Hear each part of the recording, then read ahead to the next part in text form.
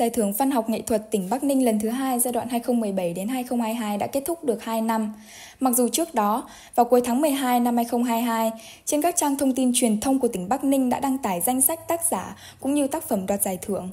Nhưng đến nay, hơn 70 tác phẩm đoạt giải trong cuộc thi vẫn chưa được trao giải. Khi viết mỗi một tác phẩm như thế này phải đầu tư rất nhiều về trí trí lực, dồn tâm huyết của mình. Nghĩ rằng là mình đã đầu tư công sức viết cả một tâm huyết như thế. Và đặc biệt là nó thể hiện cái bản chất của con người Bắc Ninh, một cái nền văn chương của xứ Kinh Bắc. Thế mà bây giờ lại tự nhiên là là trao giải thì không trao được.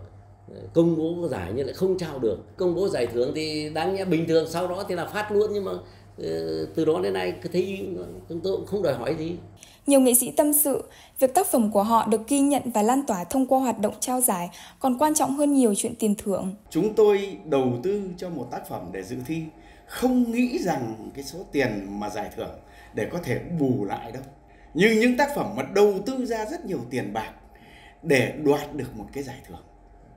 Chúng tôi không nghĩ đến cái tiền bạc để bù lại cho những tác phẩm đó. Mà chỉ cần rằng tác phẩm ấy ngoài cái việc đoạt được giải thưởng cao quý rồi nó còn phải là được một cái mục đích nữa đó là sống mãi được trong lòng dân.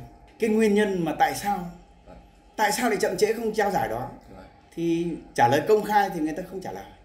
Giải thích tình trạng chậm trao giải gần 2 năm, trao đổi với phóng viên báo Lao động, ông Đỗ Văn Phong, Phó Chủ tịch Hội Văn học Nghệ thuật tỉnh Bắc Ninh, cơ quan thường trực của giải thưởng cho biết, lý do là bởi có một số phản ánh về kết quả giải thưởng. Các bác ấy là cứ đang phản ánh những cái vấn đề giải thưởng của nhau thôi, để giải quyết được rồi. Mình đang tập trung để tham mưu cho tỉnh để, để trao giải đây. Dự kiến ở cuối cuối năm nay, quý 3, quý 3, cuối quý 3 đầu quý 4. Trong khi đó, các văn nghệ sĩ cho rằng trong trường hợp có phản ánh liên quan đến kết quả giải thưởng thì chỉ nên dừng xem xét trao giải đối với các tác phẩm có phản ánh, còn các tác phẩm khác vẫn cần được trao giải kịp thời.